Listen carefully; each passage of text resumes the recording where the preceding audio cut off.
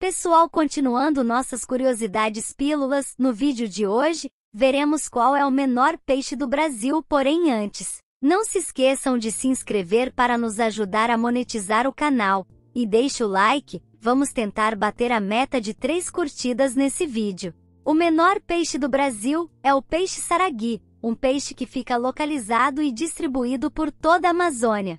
Os maiores peixes dessa espécie podem chegar a no máximo aos 25 centímetros. Porém, no ano de 2005, o pescador Martin Arostegui pescou um de 0,450 gramas no rio Unini, fazendo desse o recorde de menor peixe já pescado no Brasil, e dessa espécie a menor do nosso país.